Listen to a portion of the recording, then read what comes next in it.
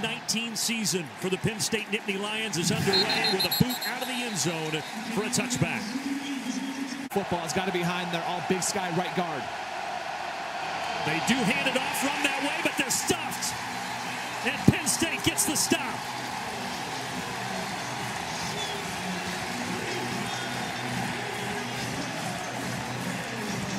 Here from 28.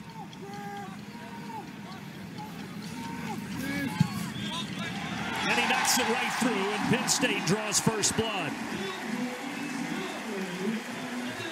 3 0 Penn State, and he's able to do that to a garden space. Gross Matos is a low snap, but nicely taken by Cade Coffey. And a bad punt. That was just bad from the start for Idaho, and Penn State's going to have really good field position.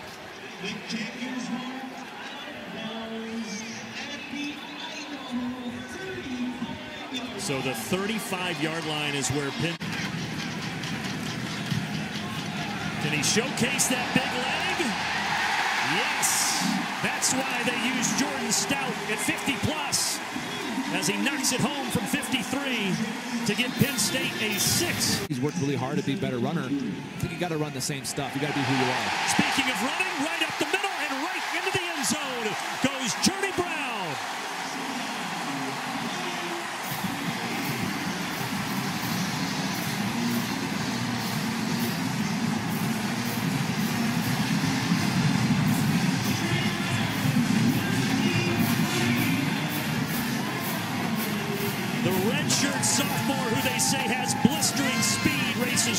23 yards up the gut. Yeah, you're going to see him right here, cut right off the back hip of Rasheed Walker. And there's no one there at the second level. To Slade here and get him one. They do give it to him, and he is indeed in the end zone for a touchdown. Ricky Slade from a yard out.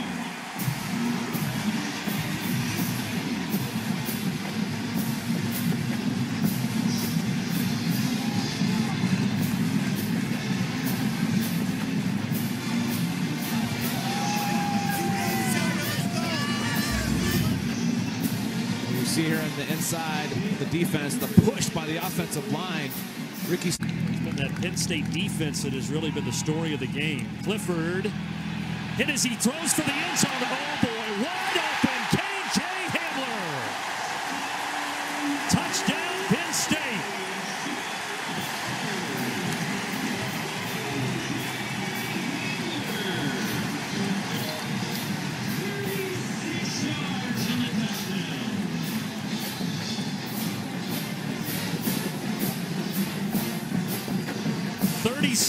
Yard pass. He just had to loft it up there. Yeah, what I love about Sean Clifford here, he keeps his eyes downfield. When he scrambles and steps up in the pocket, KJ Hamler. That's where I want to be. That's when you didn't have any worries. Around the edge, a lot of room to go for Devyn Ford. 30, 20, 10, goodbye. Touchdown, 81-yard run for the true freshman from Stafford, Virginia.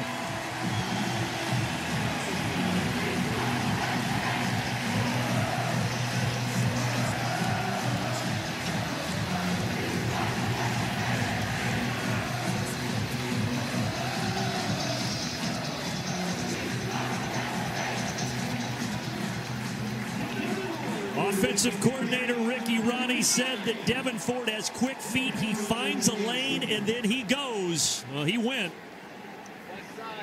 It's in the second quarter. Going for the end zone. Hamler. Yep, second of the game. For the red shirt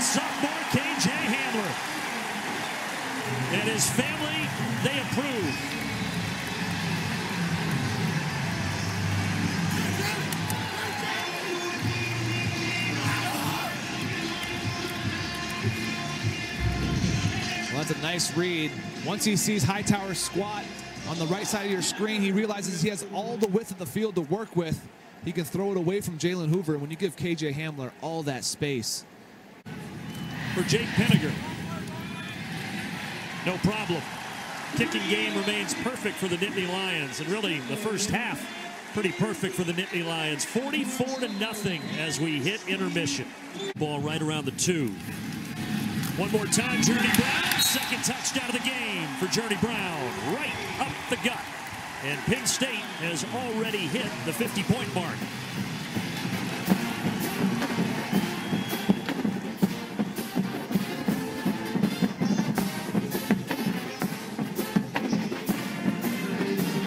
Brandon, that's just what you want to see. We talked about making slight adjustments, but when you come back out, are my guys still focused? Right? Can they lead a drive down, get on the board? Great execution by the Penn State offense. Obviously, KJ Hamler with the nice adjustment. Idaho's drive chart in the first half. They went turnover on downs and then all punts, and here's an interception. John Reid with a pick. The fifth-year senior with a sixth interception of his career, and it sets Penn State up first and goal.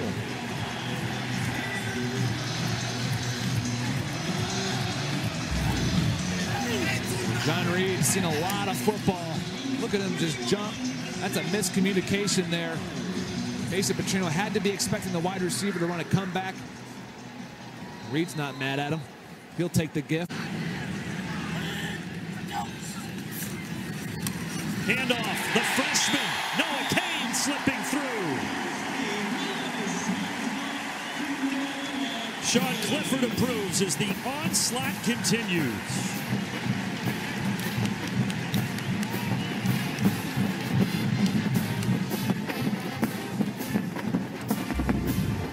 Really solid push by the offensive line. You see number 74 there, Steven Gonzalez climbing. And what I love about Sean Clifford watching him, even when he's on the field and there on the sideline, he gets so excited, almost more so.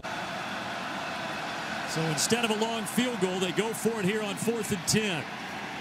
Petrino on the run, incomplete, no flag. They call the defense clean. DJ Brown knocking it up giving Penn State the football back with its fourth quarter. Penn State looking to add to that huge lead. Throw behind, but still caught and taken into the end zone. Well, Levis not the most accurate pass, but Brenton Strange, the freshman tight end, somehow able to corral it and score it.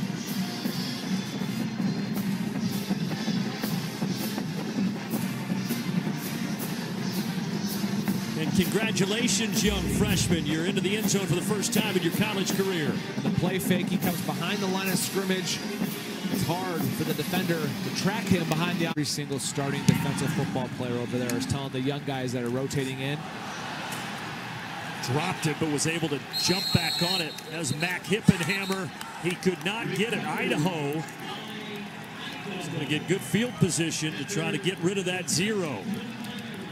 David Eppinger was the one to jump on it for the Vandals.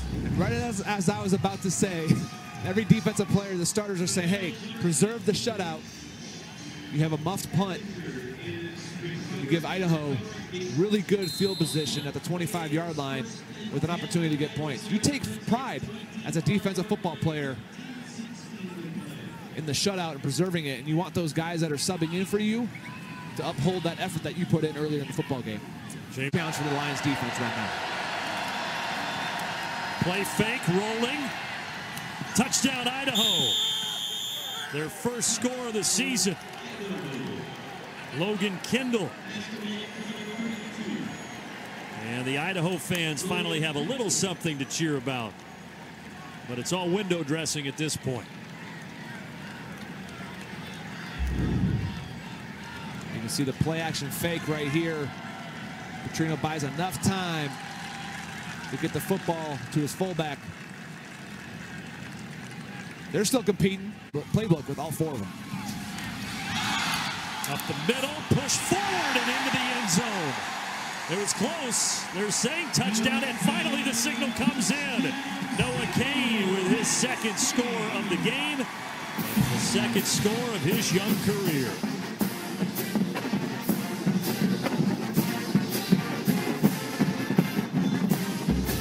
Was a late signal. Let's see if he got in. Really a nice, tough run to get in the end zone. Absorbs a couple hits. It's a little help. You can't see the football. but they ruled it a touchdown on the field. And for a punt. As Idaho still has not converted a third down. They're 0 of 14 in this game. Hippenhammer with his second fumble of the game, but it is picked up by Jaquan Brisker, his teammate, who was Johnny on the spot.